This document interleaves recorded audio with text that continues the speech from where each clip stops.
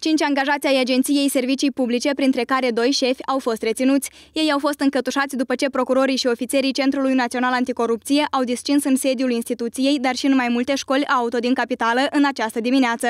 Toți sunt bănuiți că ar fi implicați într-o schemă de eliberare frauduloasă a permiselor de conducere, fiind descoperite peste 600 de cazuri de eliberare ilegală a acestora. Afacerea cu permise a intrat în vizorul CNA încă anul trecut iar perioada investigată vizează lunile noiembrie 2017-februarie 2018. În acest interval de timp, membrii grupului format din șef din cadrul Agenției Servicii Publice și angajați ai patru școli auto din Chișinău au fost urmăriți de CNA, reușindu-se documentarea 393 de cazuri de fraudare a probelor teoretice și 219 a celor practice. În cadrul documentării s-a stabilit că pentru susținerea examenelor se percepeau sume între 500 și 1500 de euro.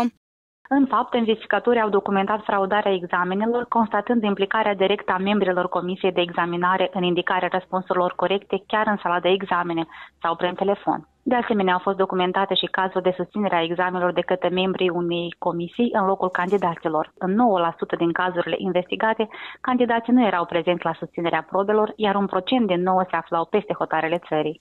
În total au fost efectuate peste 60 de percheziții la birourile și în domiciliile unor angajați ai ASP, dar și la unii membri ai școlilor auto.